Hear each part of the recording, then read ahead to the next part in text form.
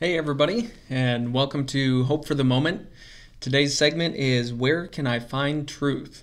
And uh, we're looking at another uh, two part session here. So we'll start off today, and then you'll be able to catch the rest of it on Thursday. Uh, but yeah, so where can I find truth? Um, is anyone else getting a, a, little bit tired of all of the information that we're getting uh, in regards to uh, this whole coronavirus and everything that's going on? And sometimes it seems like we get a little bit overloaded. Uh, especially nowadays, though, it seems like it can be hard to find out, uh, you know, what is true, um, what is true about certain things, and depending on uh, which news station you watch, you know, whatever you're watching on TV or uh, wherever you go for news, uh, whichever one you watch, you're going to be finding differing views uh, on what what they believe to be true about this pandemic and everything that's going on. Uh, apparently now everybody on Facebook are uh, you know experts in in news and science and all of these uh, things and even though they're all experts everybody uh, a lot of people on Facebook disagree with each other and so they're giving their uh, kind of their views their opinions there but they don't all line up um, family members even probably within your own family um, you know they have differing opinions on kind of how they view this whole pandemic and everything that's going on. Even the person you come across at the grocery store uh, is probably willing to give you their two cents as far as uh, you know what their view on everything that's happening is. So you've got all of these views, all of these opinions, all of this these you know this information that's coming at us from so many different aspects, and you have to ask yourself, so who do I believe? You know what what you know which person am i going to am i going to believe? Which news tv station am i going to believe? What you know article that someone shares on facebook am i going to choose to believe?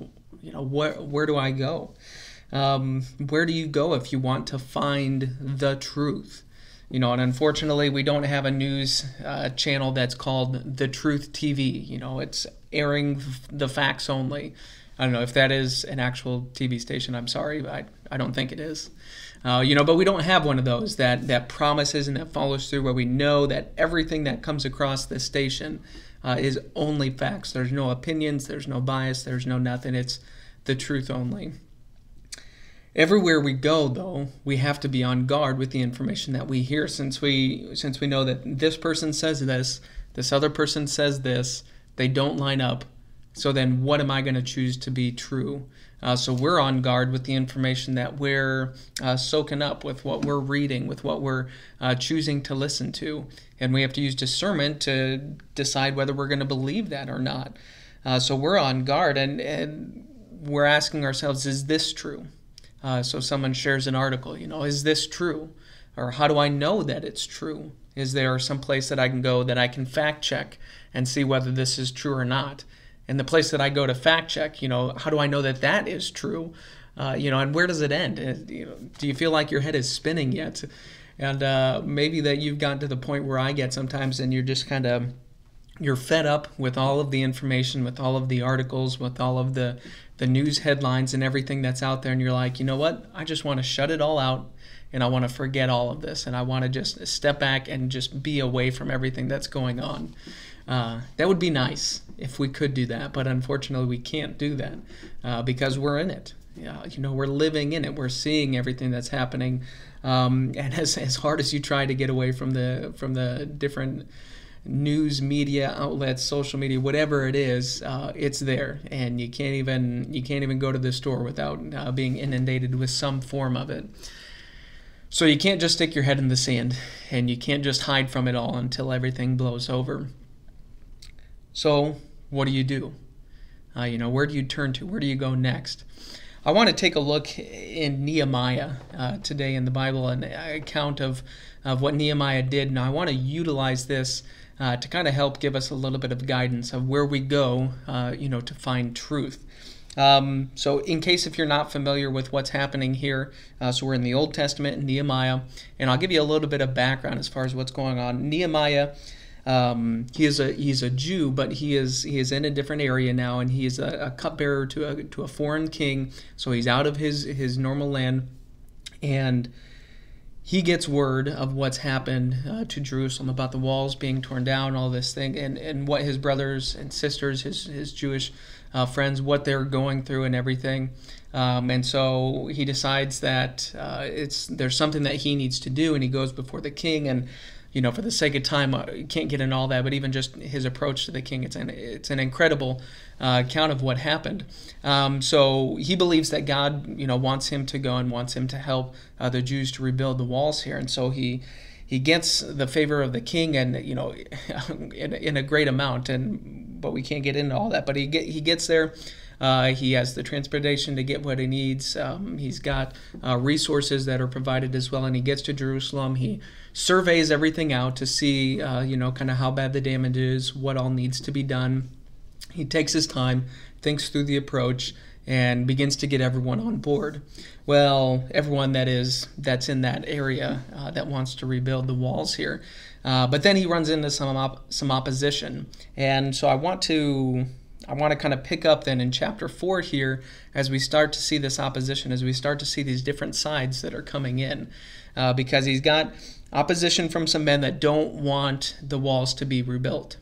And so that kind of causes this cascading effect that leads uh, to where we're at. So in Nehemiah chapter 4, I'm going to read verses 7 through 12 here. So, verse 7 it says, But when Sanballat and Tobiah and the Arabs and the Ammonites and the Ashdodites heard that uh, the repairing of the walls of Jerusalem was going forward, and that the breaches were beginning to be closed, they were very angry. And they all plotted together to come and fight against Jerusalem and to cause confusion in it. And we, and so this is Nehemiah's talking, and we prayed to our God and set a guard as a protection against them day and night.